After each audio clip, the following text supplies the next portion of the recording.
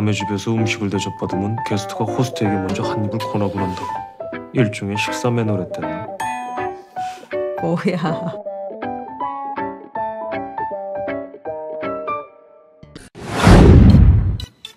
어, 난 또 기론 말이고 뭐. 여기 또 그 말이 있는데 좋아요? 아닌데. 아니, 기- 신이 몰빵한 눈만 거지.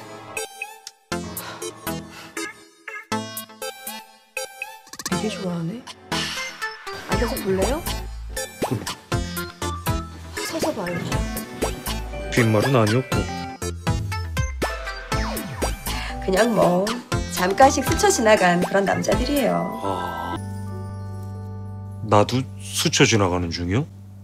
뭐 벌써 지나갔으면 말해주고 우리 혁이 질투해요?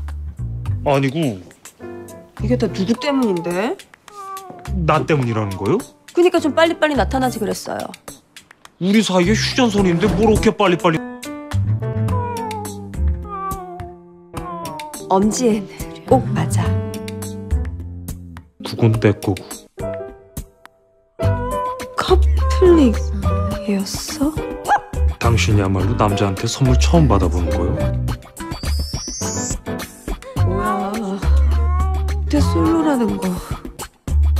후라이 같은데? 내가 본 반지 중에.